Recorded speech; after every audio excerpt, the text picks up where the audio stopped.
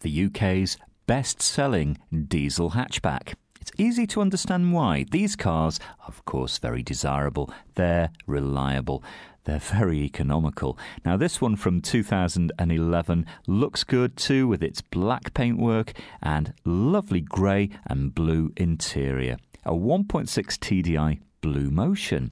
Now, this one's covered about 13,000 miles just about running that engine. You've got a very smart cabin there, as I say, really comfortable behind the wheel, aircon, power assisted steering. You've got a CD player as well to keep you entertained.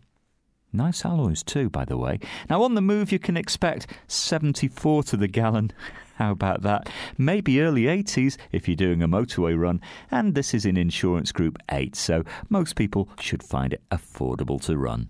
Now, if you fancy a test drive, why not ring and reserve? We'll hold this car for you for up to 48 hours until you can get here. Bring your license with you. You can test drive the same day without any obligation.